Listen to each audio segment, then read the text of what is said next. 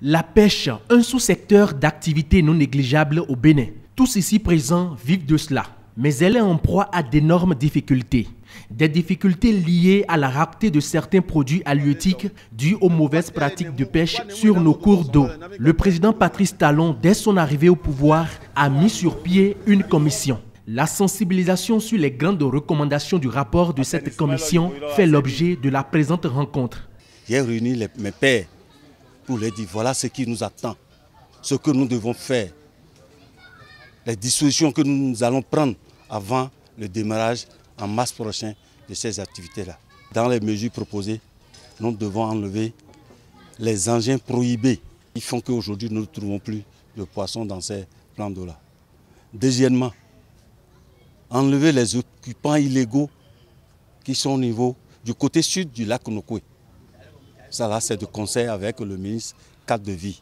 Après ça, la réorganisation des pêcheries sédentaires au lac Nokoué et non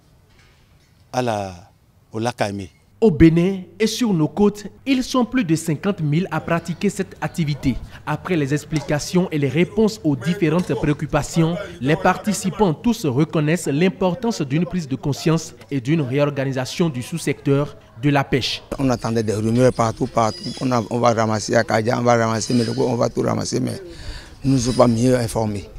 Nous allons remercier le président, M. Patrice Talon. nous voulons qu'il agisse. Nous voulons l'aider à nous aider.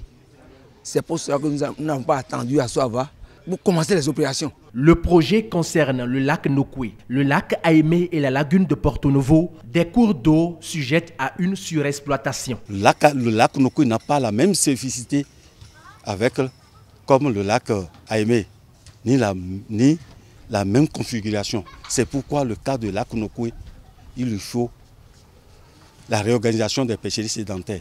Parce que ce plan d'eau-là vit à cause des acadias, ils sont dedans. Nous savons très bien que la prolifération des acadias au lac Nokoué est tellement dense. Il faut les réduire même à moitié. Je pense que les acteurs aussi sont conscients de ça.